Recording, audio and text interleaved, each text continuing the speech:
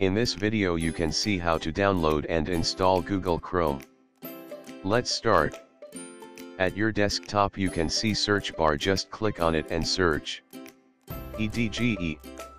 You can see Microsoft Edge just click to open it. Once Microsoft Edge has open, click at search bar and type Google Chrome. Then press enter. You can see many links opened here. You just click on first link of Google Chrome official website. You can see two download buttons here. Just click any of them. I am clicking this button. You can see downloading has started. After downloading has completed, just open Chrome setup by clicking it. This window will appear onto your screen. Just click yes to allow app to make changes.